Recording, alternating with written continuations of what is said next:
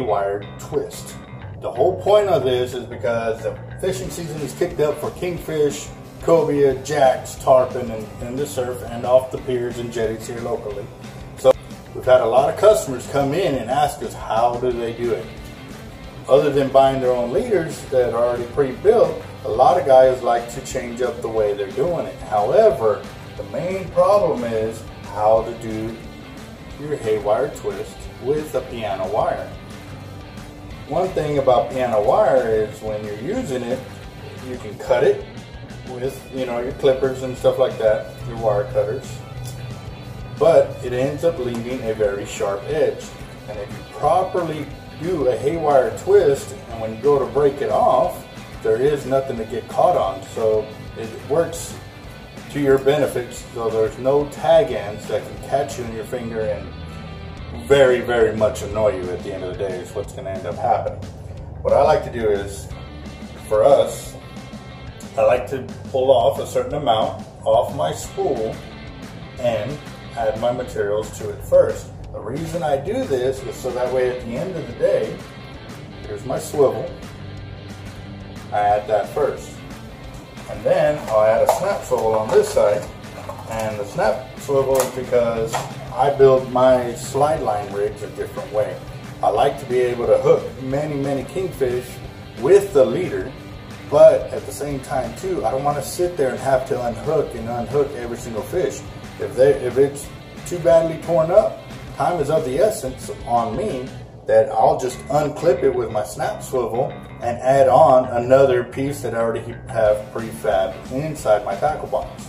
So, got my swivel on there, I've got my snap swivel here, and the trick with doing your haywire twist is, get in here.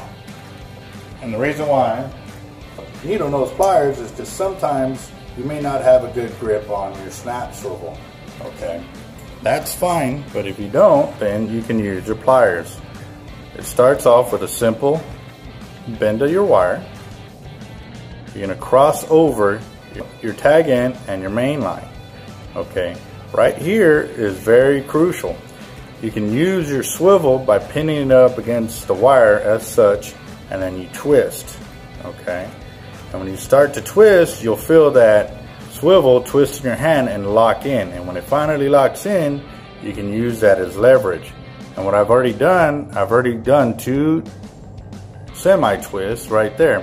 However, the first one I don't like.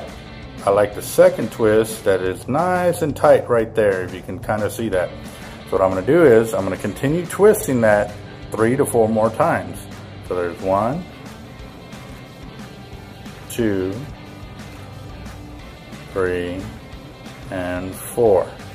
On the fourth one, you'll notice I kind of twisted my main line to where it's almost straight. In doing this, I am setting up so I can take my tag end around my main line five to seven times.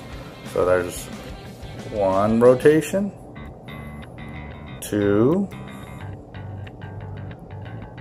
three, four, and five. Okay, as you can see right there, I've got my, my beginning twist and then my closeout twist right there. Those are nice and tight. And then my main line right there, my main line twist. Okay, now here's the real trick. To break this off clean at this point, what you'll do is you'll bend this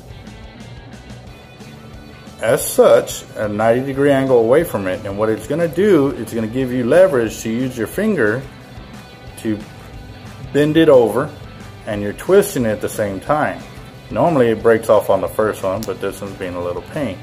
And right there, I have broken it free with no tag end to get caught. There's nothing to get caught on right there. So it's nice and smooth. All right.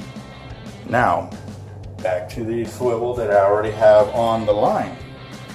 Remember how I put it on at the very beginning? Well, the reason I did that is because now, when you build a bunch of leaders, you try to save as much material as possible.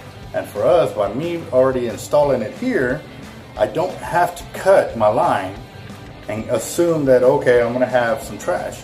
Well, yeah, you're gonna have trash, but what I do is I leave it on there, so when I go to build my next leader, I have a little bit of extra. When you're building two to 300 of these for, per season, you'll see that that little bit of extra will add up and you may get two, three, four more leaders depending on how you build it. All right, so here we go again.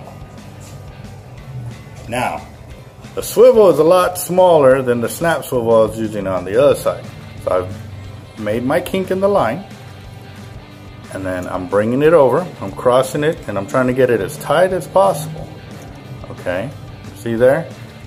Now that I've got my loop there, instead of trying to hold that little swivel, because that's gonna be the other thing. Doing it straight wire like this, it's gonna wear on your fingertips and they will hurt and they will go numb.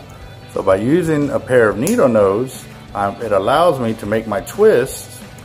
Again, one, two, and on three. Look, right here, you see how they're, they're spread out? As I'm, I'm shaping it, I'm bringing that wire straight.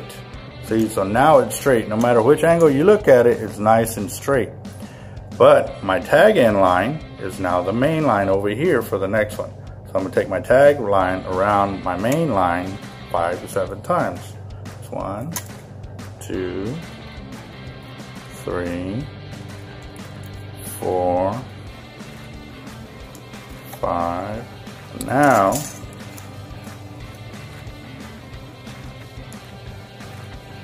now you can see my line, my twist is all nice and neat take some close-ups and post them here in just a little bit. But to break my, my tag line now, instead of me creating a little bend here, what I'm gonna do is just bend it straight down and bend it back up. Bend it straight down and bend it back up. You're gonna do that three or four times and the wire will break free. And there you go. Without using any kind of tools, I've made it to where there's no catch, there's no tag for you to catch your finger on or poke yourself. And there is a closed out haywire twist. Okay, so that is one portion of my leader. The next one I'm going to do, I'm going to use my swivel and the treble hook. So what I'm going to do, take off some more here.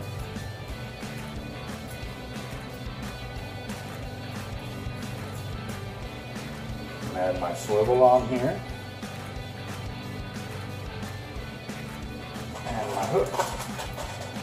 Now what I'm to do is build my smaller section, but still, the haywire twist right there, you're to start again. Since I am using a treble hook and they're very sharp, I'm going to go ahead and have my needle nose ready. And normally right here is about two to three inches. You'll learn that you can get smaller and smaller with it, but you don't go too small because when you go to try to do your final twist at the end, you're gonna end up stabbing yourself. So having a little bit of extra is okay. And if you'll notice, when you start building a lot of leaders too, a lot of those tag ends, if you actually store them off to the side, you'll see how much wire you're, you're throwing away. A lot of it is unavoidable. But if you do it the way I'm showing you by adding on, one of your pieces to the wire ahead of time, you'll actually save a lot of wire. You'll lose half of it instead of 100% of it. Okay, so now I've got my bend. I'm gonna make my loop. I'm gonna use my pliers, and now I'm gonna start my twist. By pulling them apart more than 90 degrees, it's gonna give me the twist I'm looking for. So that's two. And then on my third one, as I'm doing it, I'm gonna straighten out my main line so it's equal to, or it's parallel to my twist. So right there, I'm gonna take my tag line around my main line five to seven times. Two, three, four, five, six, and seven, okay? And there you go. You know, sometimes you're not going to get it all nice and perfect, but the twists are there that are needed to lock this knot in. And since I have the little bit of tagline there, I'm to bend it over And as I'm, I'm pushing it and twisting it at the same time. So there's one and I'm get a grip. Now take care in bending your wire and two. See? Now I've bent it a little bit. I got a little bit of a kink there, which ain't too bad, but you don't want to be kinking up your, your piano wire. Just broken off my tag end. There is nothing for me to catch on. Okay, now my swivel that's already on right there, this is going to be my determining factor of how long I want. See that little kink there? So since it ain't too bad, you can straighten that right back out. There you go. Okay, you want to keep your piano wires nice and straight. Right here, I'll usually do about 18 to 24 inches. Okay, so I've got my line set. I'm to make my kink in the line so I can hold my swivel there.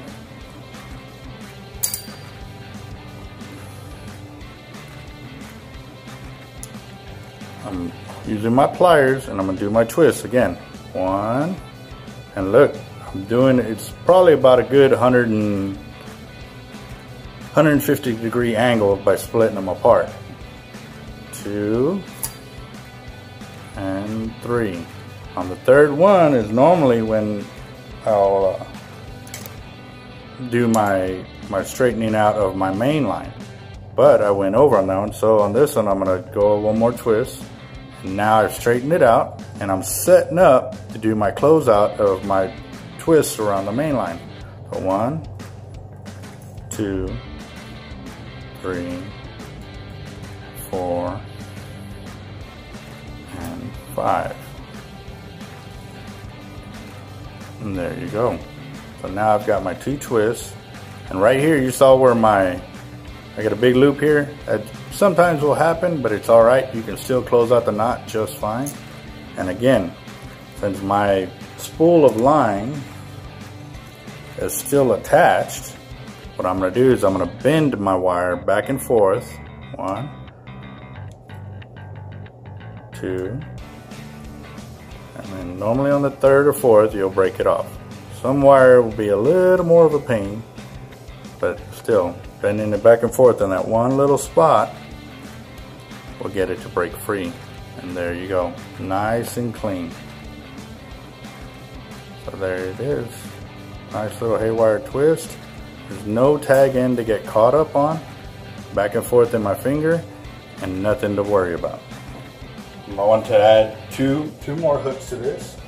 One will be my main bait fish hook.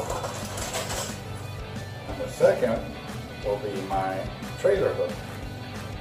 And then you got what they call a stinger. So now, I've got my main line again with my spool. I'm going to add my secondary treble hook.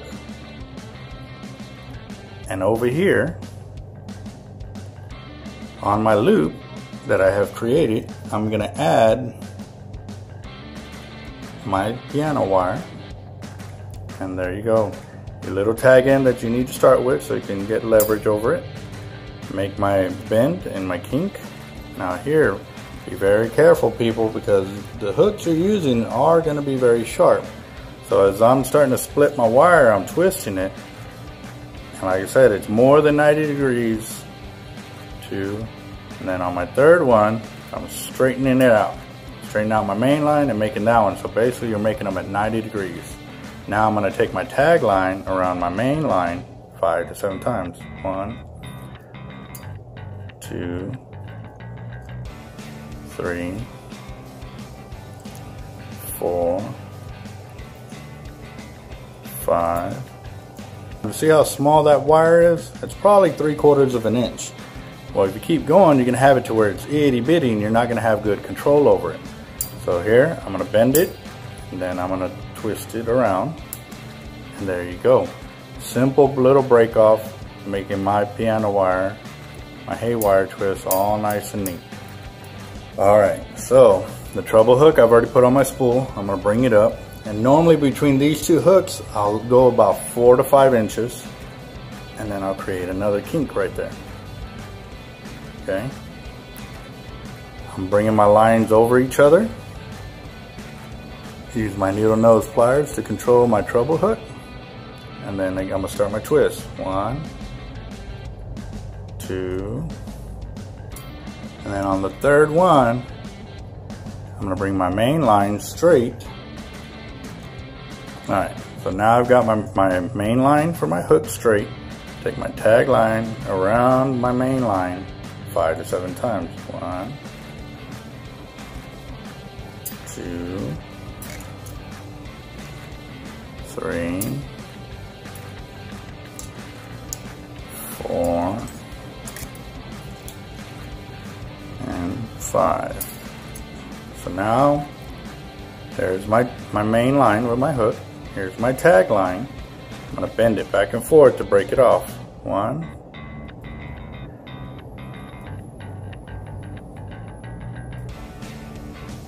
And sometimes it, it may take a few times, but you'll be all right bending it back and forth.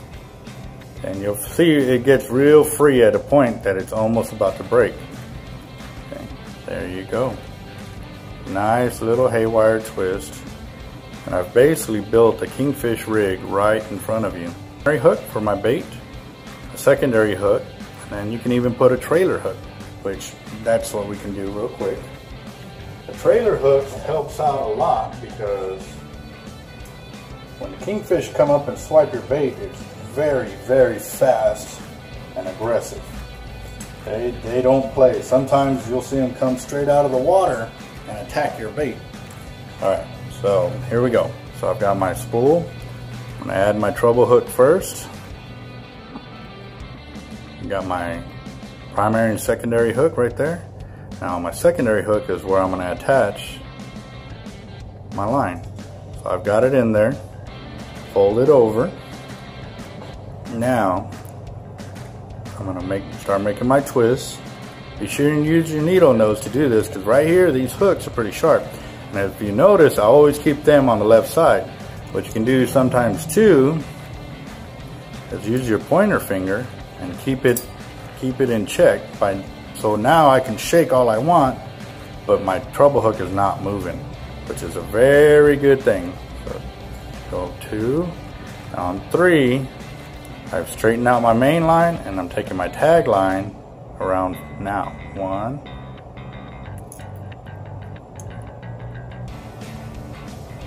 two, three, four, five. And there you go. There's your two twists and your five wraps around it. Can you see it now? Now I'm going to take my tag line, and even then you don't have to make that bend the way I've showed y'all before. You can bend it back and forth. And may take a little bit longer, it's not instantaneous, but it's nice and clean. That way you don't have any little sharp edges that may catch you besides the hooks. By using this technique of prefabbing your gear onto the wire before you cut it will actually help you save a lot of wire in the long run. It takes a little getting used to of being able to work with it like that. However, in the long run, it'll save you some money as well. I've got it. Use my pointer finger to keep my hook in check so I can make some safe turns without getting hooked up. Two. On my third one, bring my line straight and my tag line over here. See it? Now I'm gonna take my tag line around my main line five to seven times. And watch out guys, because you will get hooked and jack yourself up pretty good. One, two, three, four, five, and there it is. There's your two twists and your five wraps. Okay, now, again, since this is my main line I don't want to put all those kinks in it, I'm going to bend it right at the breaking where I want it to break as close as I can there. Don't bend way over here because you're not going to get any leverage on it. See, I'm bending right at the spot where I want it to break.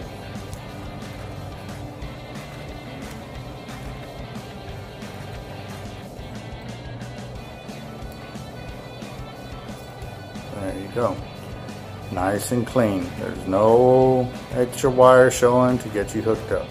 And while doing these knots, I've basically built a kingfish rig in front of you.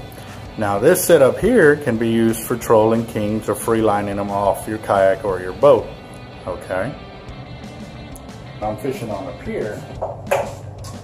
I'll use basically the same kind of style, but the snap swivel that's right here, I can add this on, and now there's my leader. My swivel will be up here attaching to my anchor line that's holding my leader up. And as it's sitting like this, this is where your bait will be. And normally it'll sit right there at the surface of the water. So you can see your bait going around in circles as your predatory fish will come around and they'll swipe at it. Now, like I said before, if you've ever kingfished before, of this portion of your leader will always get messed up. However, why throw away a whole good little checkpoint right here? That way when this is all swallowed up by a king or too jacked up to continue, all you have to do is disconnect right there. Go to your tackle box and hey, I've got extras already built. There you go. Now you add your extra one in and go right back to fishing. Little little trick of the trade from Team Hard Life. I hope you've enjoyed our video. The things you'll need will be uh, a needle nose pliers, your tooth-proof wire. We normally like 98 pound to 131 pound test. Your swivels, on your swivels too, those will be at least 80 pounds to 150 pounds. And then your treble hooks, a good 3X strong is highly recommended for your J hooks and your circle hooks. Excuse my handwriting. I don't have very good handwriting, but I'm a pretty good fisherman. So, again, how to do a haywire twist. Team Hard Life Captain Albert Zertuche. Hope you've enjoyed. Please subscribe to our channel as we will continue to show you the various ways of knot tying and getting your gear to use. Please give us a thumbs up and give us a shout out. Let us know how we're doing here and we will continue to further your knowledge by sharing ours.